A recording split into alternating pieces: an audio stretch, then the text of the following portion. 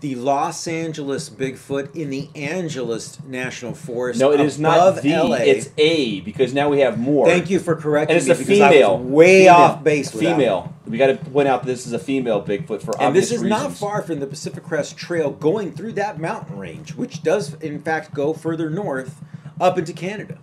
Now, female Bigfoot do obviously have uh, prominent breasts, and and you, the hand is the arm is covering the butt region, but they do have prominent, more prominent butts than we've seen on the male Bigfoot. Well, certainly more exaggerated than the male. We were talking before. We wanted to go to this abandoned military base near uh, Mexican We border. didn't want to go. We did go.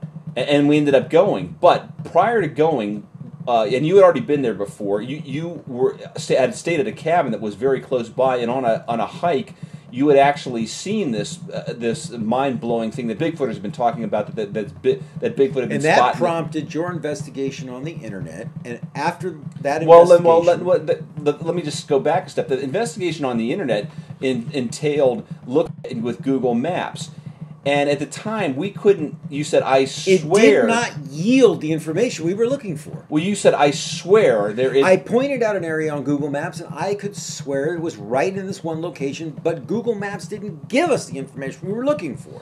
Well, it, yeah, and so with Google Maps, if you're not familiar, you can go on the main roads and look and go th- 360. And this is not on a a, main a road. 360 degree view, and, and it's it's almost like you actually made the trip. But certain areas are not accessible. well documented on Google Maps because they don't have cars driving up and down the roads because they're blocked off. And that was the case with this abandoned military base. We had to look at the satellite view in order to t- determine if the in, you know where the installations were. And we didn't. We saw some installations, but not the ones we looked for. But you said, "I swear they're there." So thus, we made the trip, and we'll talk about them more in the next episode.